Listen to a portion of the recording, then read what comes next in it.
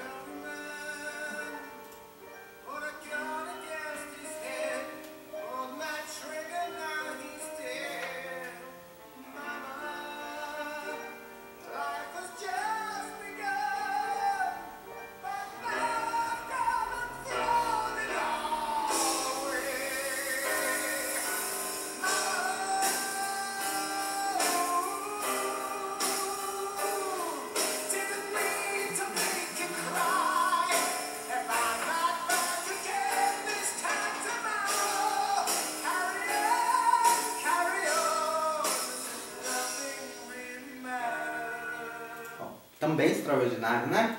Agora o Elton John.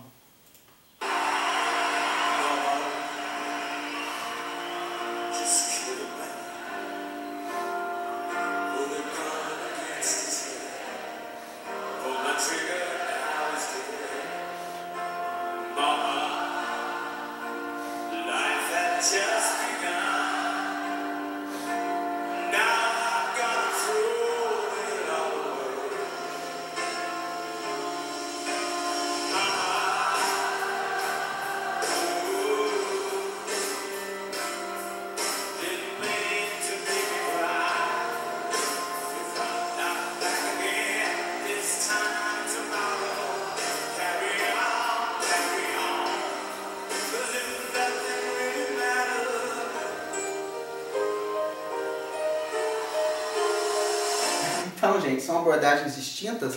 Né? Eu estou aqui com a partitura do Bohemian Rhapsody, do songbook do Queen, oficial, né? É, vamos lá. Fred Mercury, eu peguei a versão de estúdio com o Fred e com o Bruce, porque o Bruce nunca cantou isso ao vivo, pelo que eu sei. O Elton John é a única versão que eu conheço, tá? Depois eu vou comparar a segunda parte, aí é o Axel Rose, né? E outros cantores.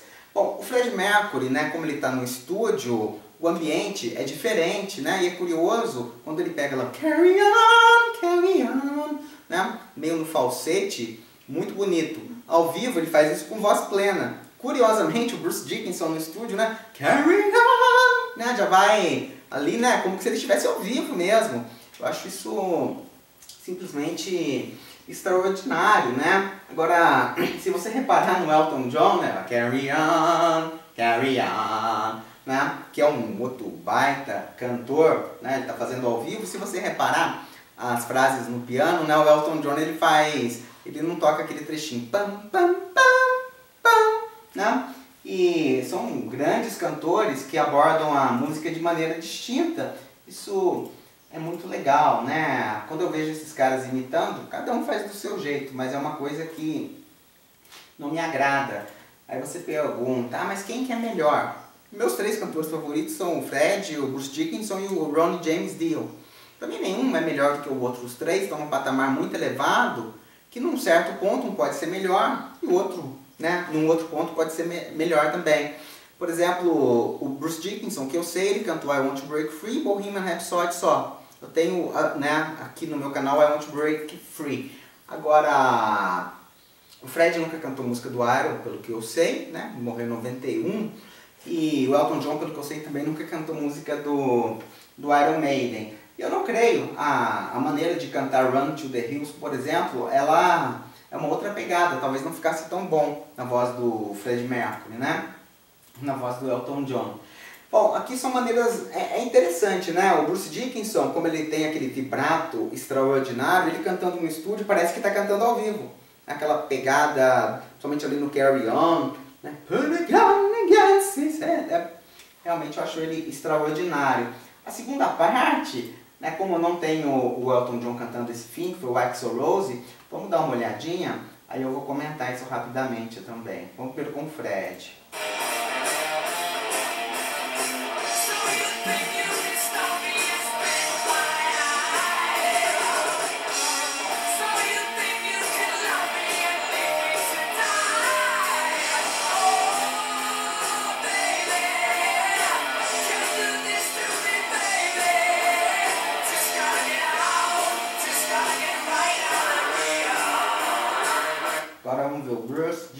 Dickinson,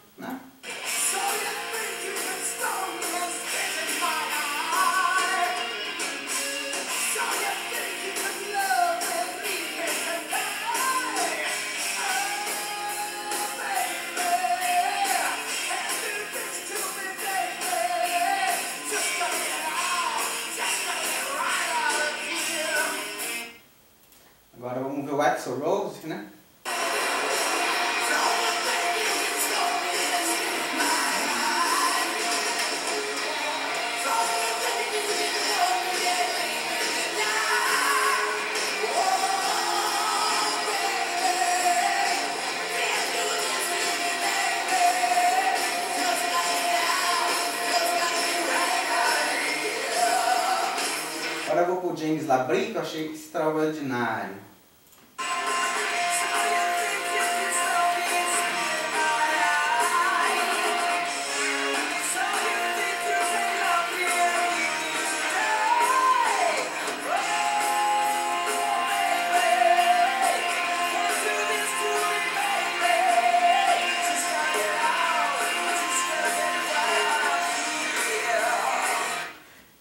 Gente, essa parte final, né?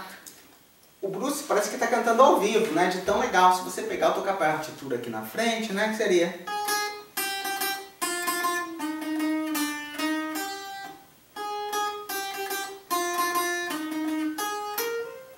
So you think you can me and speak my eye So you think you can love me and leave me to die você vê que esse vibrato final, né, o Fred, ele, como ele está no estúdio, a abordagem dele foi um pouco diferente. A do Bruce é muito parecido, esses outros são todos muito parecidos. O, o Axel Rose, o James Labrie né, e o Bruce Dickinson, que está To Die! Eu acho isso muito legal, eu acho que fica muito bonito. O, o Fred, ao vivo, ele não fazia dessa maneira, ele sempre fazia com aquela voz plena, né, aquela colocação fantástica, né? O motivo de eu fazer esse vídeo foi só comparar, comentar, você pode cantar do jeito que você quiser, você não precisa fazer igual. Por exemplo, quando eu toco Bohemian Rhapsody, né, eu faço diferente, eu faço, faço um tapping a música inteira e como eu não estou ligado no amplificador, talvez nem dê pra ouvir direito, né? né? Então, o intuito aqui não é cantar, é claro, né? Eu longe, muito longe eu ter a pretensão de cantar no padrão desses caras, mas fazendo adaptações, todo mundo aí com um pouco de estudo pode cantar no seu tom, né? E não se esqueçam, gente, aí de deixar o joinha, de se inscrever. Música não é corrida de Fórmula 1 para ver quem chega aí em primeiro lugar, não tem nada disso, tá? É, os próprios cantores, eu não sei, eu acredito que eles não tenham essa visão, essa competição infantil.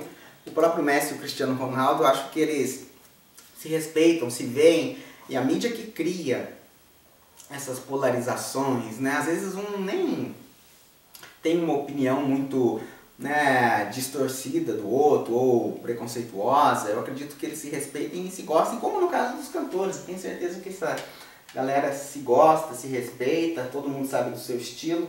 Né? O Elton John, para vocês verem, ele não tem né, o mesmo vibrato no estilo do Bruce, ele não tem a mesma pegada do Fred, do Bruce, dos outros cantores aí, mesmo assim ele cantou e ficou super bom, porque ele tem uma voz muito bonita, super afinado e cantou do jeito dele, no estilo dele. Então é o que eu digo, faça do seu jeito, faça no seu estilo, não caia nessa de que eu tenho que tocar mais rápido que o João, tenho que cantar mais agudo para impressionar.